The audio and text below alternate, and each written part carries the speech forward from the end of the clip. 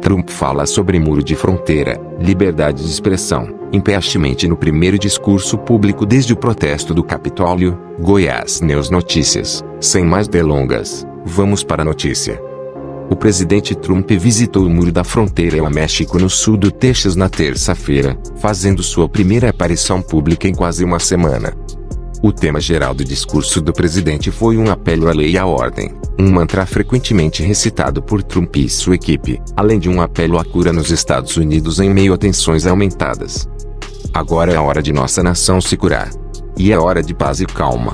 A aplicação da lei respeitosa e as grandes pessoas dentro da aplicação da lei são a base da agenda do MAGA, disse o presidente Trump.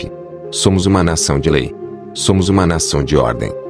No início de seu discurso, o presidente Trump voltou-se para o protesto que se tornou violento no Capitólio na semana passada, depois que os manifestantes forçaram seu caminho através de várias camadas de segurança para violar o edifício do Capitólio.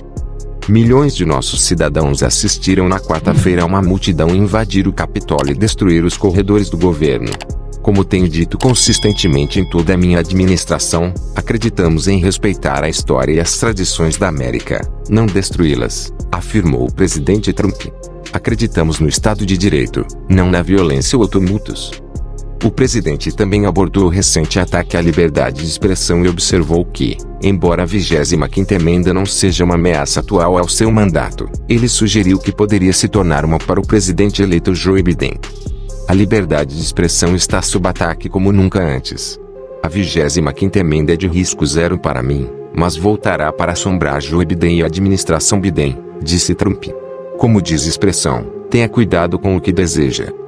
O presidente continuou, a farsa do impeachment é uma continuação da maior e mais cruel caça às bruxas da história de nosso país e está causando uma enorme raiva, divisão e dor, muito maior do que a maioria das pessoas jamais entenderá o que é muito perigoso para o ar, especialmente neste momento muito tenro.